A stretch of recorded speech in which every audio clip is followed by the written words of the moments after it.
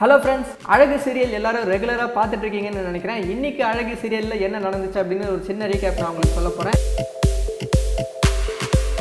This video is powered by IAKR Films. For bookings, contact the given number.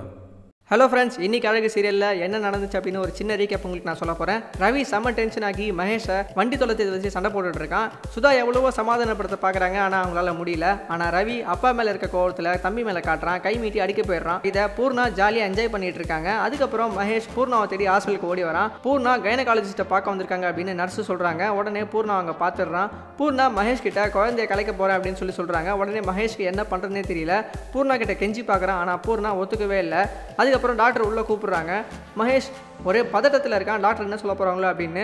அப்போ doctor என்ன சொல்கிறாங்க அப்படின்னா குழந்தை ஆரோக்கியமாக இருக்குது டேப்லெட்ஸை கண்டினியூ பண்ணுங்க அப்படின்னு சொல்கிறாங்க மகேஷ்க்கு ஒன்றுமே புரியல. பூர்ணா மகேஷை பார்த்து சிரிக்கிறாங்க. அப்போ தான் தெரியுது சும்மா ஒரு ஷாக் கொடுத்து பார்த்தேன் அப்படின்னு சொல்லி பூர்ணா சொல்கிறாங்க அதுக்கப்புறம் இங்கே சுதா ஃப்ரிட்ஜிலேருந்து ஒரு பூ எடுக்கிறாங்க.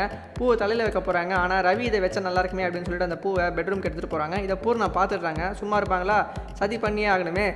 ரவியும் சுதாவும் கரெக்டாக ரொமான்ஸ் பண்ணுற நேரத்தில் திடீர்னு ஒரு ஃபோன் கால் வருது. பூர்ணா வச்ச ஆள் கால் பண்ணி வண்டி இங்கே தான் இருக்குது அப்படின்னு சொல்கிறான் உடனே ரவி என்ன பண்ணுறான் திருநாவை கூப்பிட்டு வண்டி தரத்துக்கு போகிறான் ஆனால் அந்த ஆள் பாவம் இவங்க ரெண்டு பேரையும் அலைய விடுறான். இங்கே வா அங்கே வா அப்படின்னு சொல்லிட்டு அலைஞ்சலைஞ்சு இவங்க ரெண்டு பேரும் டயர்டாயிடுறாங்க இங்கே சுதா ரவியை நினச்சி ஃபீல் பண்ணிட்டு இருக்காங்க. அதோட முடியுது. நாளைக்கு எபிசோடில் என்ன நடந்துச்சு அப்படின்னு உங்களுக்கு நான் சொல்கிறேன் இந்த வீடியோ உங்களுக்கு பிடிச்சிருந்தா லைக் பண்ணுங்கள் ஷேர் பண்ணுங்கள் மறக்காமல் காலிவுட் டாக் சேனலுக்கு சப்ஸ்கிரைப் பண்ணுங்கள் உங்களுக்கு எந்த செல்லில் ரீகேப் பண்ணணும் அப்படின்னு தோணுச்சுன்னா அதை கமெண்ட் பாக்ஸில் போடுங்க. கண்டிப்பாக நாங்கள் பண்ணுறோம்